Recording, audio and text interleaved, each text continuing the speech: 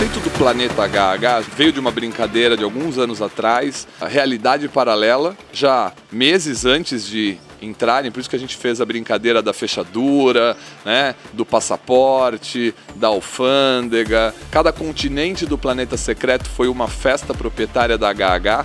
A gente chamou de line-up sonoro toda essa parte dos eventos e, e, e os shows, enfim, tudo que aconteceu dentro do festival com os DJs nacionais, internacionais, tudo mais, vivem durante aqueles dias dentro de um planeta como se fosse uma bolha.